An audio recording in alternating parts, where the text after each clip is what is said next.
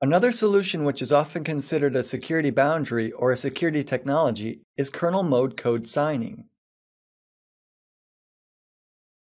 This technology disables loading a driver that hasn't been digitally signed in 64-bit Windows systems. This constituted a rather serious vulnerability from the beginnings of the system, ever since Windows 95. The problem was that the majority of critical errors, blue screens, were a result of an unstable driver. Drivers usually operate in the kernel mode and so have direct control over devices. A driver bug causes the entire system to halt. From a user's perspective, it seems like a question of Windows malfunctioning. This had to be fixed somehow. While moving to a 64 bit environment, Servers today are all exclusively 64-bit, as will client systems be in the future. Microsoft decided to sort the situation. Effective troubleshooting requires identifying a driver's manufacturer first. The manufacturer can then be told how to fix the bugs. If a program is not signed, contact is nearly impossible.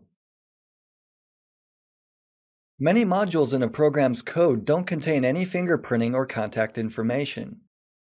And even if they do, the information is arbitrary.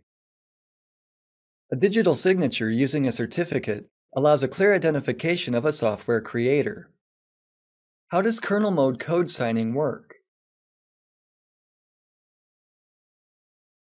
At the system start, a list of revoked and blocked drivers is loaded. This is something along the lines of an exclusion list. If a driver can be found on a list, an attempt to load it will be blocked. This solution employs an interesting idea. The future of operating systems will probably involve granting explicit permissions to launch some programs. All applications will be blocked by default. The history of firewalls was much like this. Firewalls used to explicitly allow all traffic.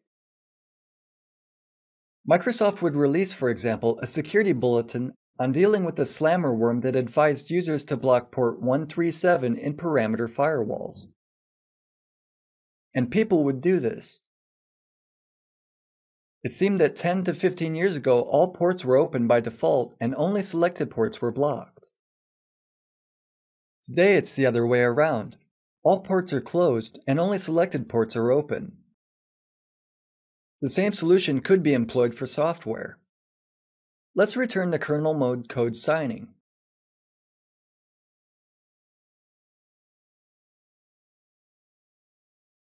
Before a driver is launched, its signature is verified.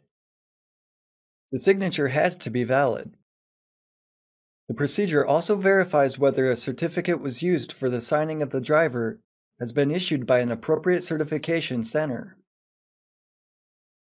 A certificate costs about $100. It's not about entering a loyalty reward scheme. The goal is to uniquely identify a program's manufacturer.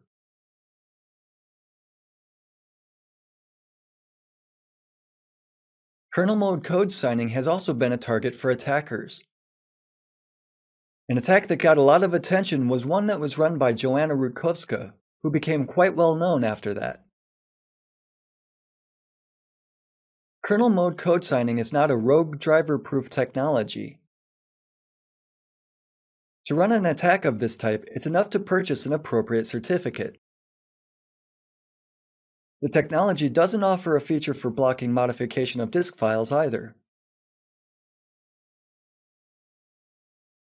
Another solution that is often seen as a security technology, and which was initially marketed by Microsoft as such, is user account control.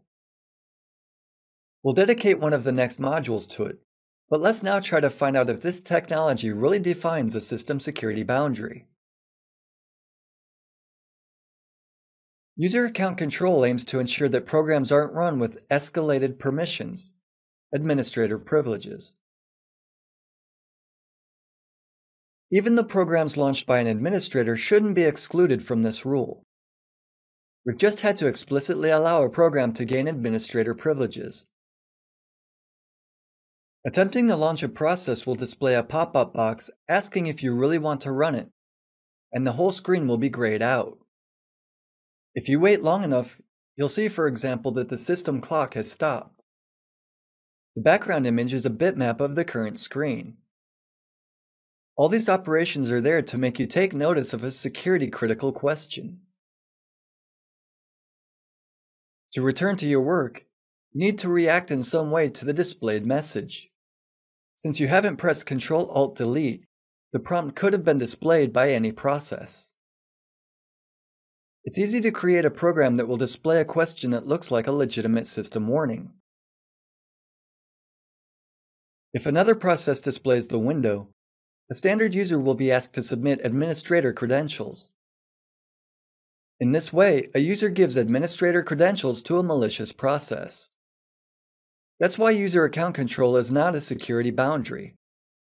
It's simply an additional feature that can be worked into the structured protection model we've mentioned earlier. Its goal is to disable or hinder the automatic infecting of computers by programs that require administrator credentials.